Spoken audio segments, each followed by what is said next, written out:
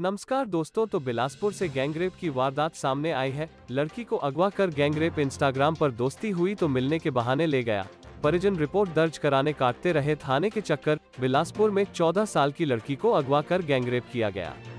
लड़की की दोस्ती इंस्टाग्राम पर युवक से हुई थी। युवक ने शुक्रवार को लड़की को मिलने के लिए बुलाया और अपने साथ घर ले गया।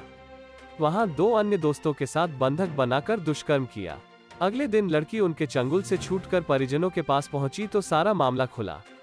इस दौरान परिजन थाने का चक्कर लगाते रहे, लेकिन पुलिस ने मामला तक दर्ज नहीं किया।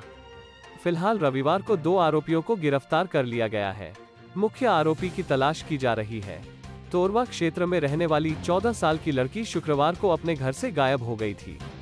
परिजन उसे तलाश कर रहे थे, लेकिन लड़की का पता नहीं चला। इसके बाद वे थाने पहुँचे। आरोप है कि पुलिस ने शिकायत तक दर्ज नहीं की। इस बीच शनिवार को लड़की घर लौट आए इसके बाद परिजन फिर उसे लेकर पुलिस के पास पहुँचे। लड़की ने पुलिस को बताया कि तारबाग क्षेत्र में रहने वाले एक युवक से उसकी इंस्टाग्राम पर बातचीत होती थी। शुक्रवार रात युवक ने उसे मिलने के लिए बुलाया था। लड़की ने बताया कि जब वो चौक पर पहुँची तो युवक ने उसे ज़बरदस्ती बाइक पर बिठा लिया और अपने साथ ले गया। अपने घर ले जाने के बाद दुष्कर्म किया। फिर अपने दो साथियों को भी बुला लिया और उन्होंने भी दुष्कर्म किया। इस घटना की जानकारी किसी को देने पर उसे जान से मारने की धमकी भी दी गई। अगले दिन लड़कों ने उसे छोड़ा तो वो घर पहुँची और परिजनों को इसकी जानकारी दी। आरोप है कि इसके बाद भी पुलिस ने मामला दर्ज नहीं किया। अगले दिन रविवार को शहर में राज्यपाल का प्रवास था।